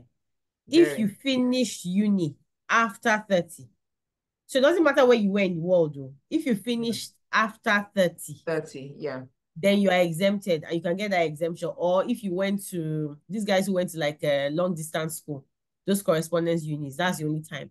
But if you lived abroad, studied abroad, and you finish all that 30, you must serve. As to you granting exemption, you've only delayed the inevitable because yeah. some companies, and I don't I know you remember some of them, yeah. They would hire you because it's convenient to keep you there you're stuck with them. You really can't move anywhere. Yeah, yeah, so you think you are benefiting, but in the long run, you are actually eating your future. That's one. Now, such an individual can actually work with you.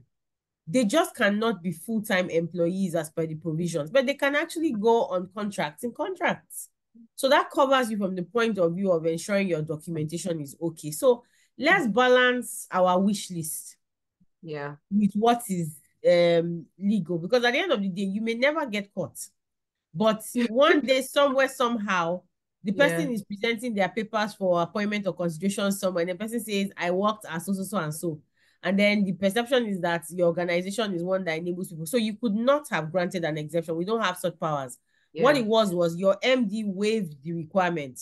But i hope you waive that requirement for other people. Otherwise it will be considered discriminatory because you could have put the person on a consulting contract and there's no yeah. restriction. You're a consultant, the person has skills that you mm-hmm. want until the person regularizes their employment, then they get full-time uh untenured yeah. employment. At least for now, that's what we do in Nigeria. Yeah. And your, your your MD cannot waive it. It's not his to waive, right? That he wants to do it is a different matter. He can't waive the law, right? He, he wants to break it is a different case altogether.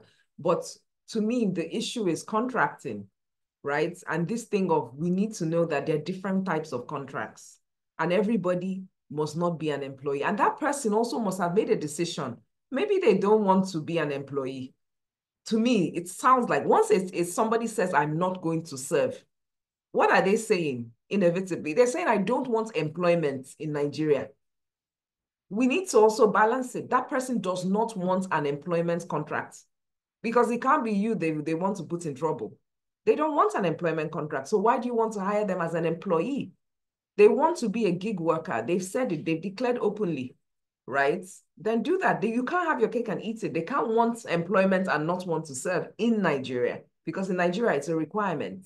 So for me, your short-term solution is to put them on, on, a, on a contract and then, and also obviously find out the ambitions of this person. They don't have plans to work in any would I say, compliant organization. They don't. And they don't have plans for a typical career because a typical career is dead anyway. We've said it.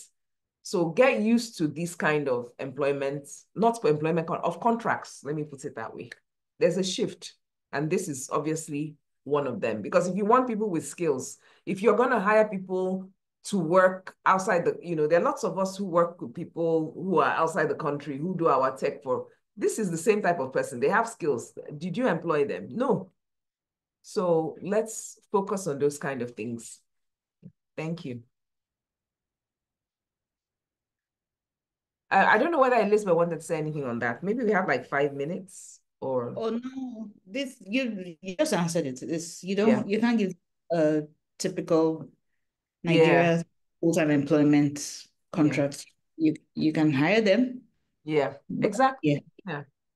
So I think uh, you have a question from Ijeoma, right? So still on the shift from academic or other qualifications to skill, how do we as HR professionals begin to implement changes in recruitment policies that have minimum qualifications criteria? I want to believe that some of those minimum criteria will be like degree, right? How do we, yeah, I mean, these are, this that's a valid question. Change in policy. It's inevitable, Ola.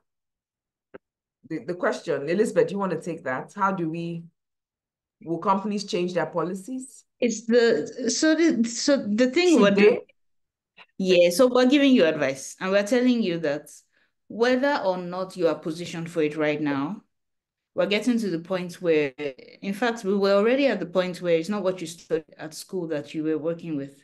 I know people who studied medicine and then they became um, photographers and they're making. I know people who studied industrial chemistry and uh, bank MDs. So we already started that shift and then we yeah. somehow regressed where we would say in the job description, and we want someone we're hiring for the HR and we're like qualifications in this and that a social science subject is recommended. Those are types of things mm-hmm. you can deal. It's within your power. What does that add? Just ask the question. What does qualification in a social science um course, whatever add degree, add to the job, to the skills that the person has to deploy? Mm-hmm. questions. Um, I didn't study IT or programming, but I, I worked for two years as a programmer. I learned it in, in a crude way. So in a crude way. These are things like if you are designing your job descriptions, you have to figure out what exactly do you want that person to do. Skills based hiring means defining what exactly you have to be mm-hmm. able to do.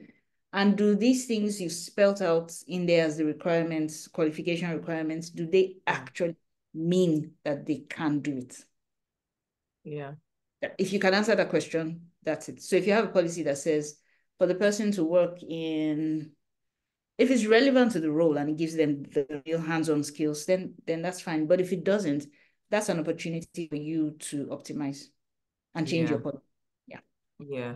I think that we just use degree as a barrier to entry, like for roles, because it's obvious that quite a number of roles, you know, that we even recruit at degree level don't even need degrees in, you know, in the normal way. But I think, I guess it's a bit complex in terms of if, if depending on the level, the educational system and the quality of, of that degree. But we definitely have to have that shift when it comes to uh, it's it's skill based whether we like it or not you know and we will see more and more of that when when candidates start to pass on you know those jobs and not want to take them and when hiring becomes even more difficult because the talent pool is very interesting know it's um last you said 6 million that's not a lot you know, how many SMEs are there? Maybe there's the same number of companies looking for people than are even available to do the work. The talent pool is, is not a lot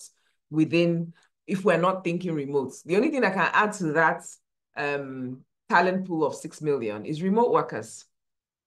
Yeah, because I'm thinking, okay, the guy who works on our website is in Pakistan also, yeah, or India. I don't even know where he is. That's it. That's what's going to help with that, you know, talent pool. The talent pool is very small in a lot of African countries, whether we like it or not, because it's not that we have people. Because what is the value in people is the skill set, isn't it? Human capital is skills. Human resources is a different labor is a different thing. But human capital and labor are not the same because it's that refinement. And we have, we definitely have a gap a big gap there. So I think let's take uh, maybe one uh, last question. Um, okay, no, I don't see any other questions. So I think, you know, with um, that, if we don't have any, let me see, is anybody's hands up? If we don't have a last question, we can call it a, can someone check? Just trying to see, no hand up, yeah. So I think that was a great conversation. Um, I, I mean, I definitely learned a lot. We learned about those talent shifts that we need to embrace now not the ones that we need to embrace tomorrow. Um, just if you remember. Okay, sorry. Oh, Elizabeth, you wanted to say I something? Found No, yeah, I saw a question from Claudette, Claudette Russell. Yes, yes, go ahead. She says, what tools or software are recommended to support hybrid working to monitor and measure and help build trust. Ah, Mm. so Okay, good. I didn't even see that. I scrolled. Maybe I've scrolled. Yeah, go ahead. Okay, Elizabeth, you answer. Oh, really? I was going to allow everyone to answer. Okay, you both So here, yes. there are simple things that people use that don't, um, I'm going to focus on the question about building trust Yes, yes. and not monitoring because the need to monitor what they're doing shows that there's a lack of trust. And that's probably what you need to take care of first in terms of going to deal with whatever culture you need, in terms of your people being trustworthy and disciplined, knowing that they have to, and then your leaders trusting. But say you want that people can be productive remotely, what tools can help with collaboration and all of that. There are many. In fact, you can, if you are Microsoft Office based, you can already use Microsoft Teams without going Yeah. to get another. I, I'm all for um, optimizing without spending because that we have lots of tools and we don't use them to full capacity, like we don't utilize them enough. And then we go and get singular use cases and we just have so many tools for singular things. Um, if you have Microsoft Office SharePoint, somebody can build like an the water cooler for you where people can track. If you already use Slack, that's a beautiful way. I've seen organizations that use Slack and create different channels for different things. In fact, there's a leave channel in one of the companies where I'm fractional, where or away from desk. If you're going to be away, just go and drop your message. You're not on leave, but you just have to step away from your desk so that people who are collaborating with you or need to find you don't look for you. They see that you have that tag away from desk, then they know, okay, we'll check back. Um, there are different there are different things. Some people use Trello boards. There are some that are cheap. We use Notion um, in my organization, and then we have Google Suites, you know, where the the chat rooms. We can see who's active, how long you've been active, and all of that. Yeah. And if you're away, we can tell. It's more about looking for what exactly are you trying to exactly. So Viva also helps. And if you if you use your Microsoft Teams, there are different add-ins and uh, plugins and add-ons that you can go and just Yeah. click and subscribe to. And if you find that you're not using it well, you can stop subscribing. Mm. But yeah, mean, it's more about the culture, it's about the behavior. Because if you have the tool and you don't, it's garbage in, garbage out. If nobody, if people Yeah. don't know that you go there and log in, they won't. So it's about driving the culture and then use the tool to support. Yeah. And I think, you know, of course, because of for work for work like HR, that can be done remotely because of the nature of the work. I can see how, or any kind of role, I can see how the talent pool will be further depleted. Because I know, like, I've recruited for a couple of roles recently, and you know, some people's inquiry was, is it fully remote or hybrid? And the minute you say fully on site, crickets, you don't hear from them again.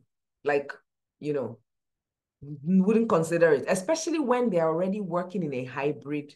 Ah, I think it's hard. It's- for someone to move from hybrid to fully on site.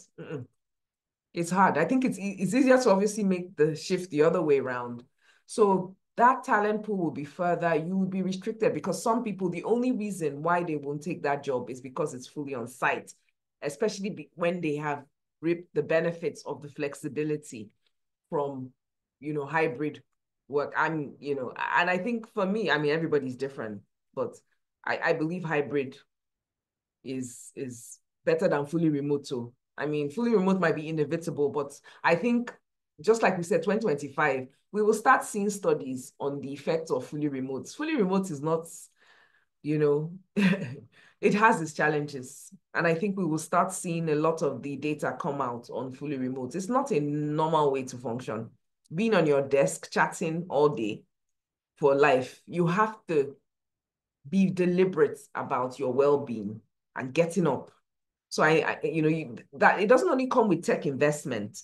remote work comes with well-being investment as well. And I'm sure a lot of the firms who are doing fully remote, if you don't balance it out with well-being measures, you're going to have, you know, I, I'm seeing some well-being results coming up um, on people who work fully remote because some people are not able to be social at all and they're going into depressive states from not having or not working or not collaborating effectively remotely than if they were in the office. So that's a whole different area anyway, but I just thought I'd mention. So I think we've come um, to the, I would say we've come to the end. I just want to thank everyone uh, for their time. Yes, hybrid works well. And you, I want to just remind everybody about the conference, 3rd to 4th December. We're looking forward to receiving you and we're looking forward to sharing more insights. A lot of the things that we've talked about are still the same things we're going to go into further detail on.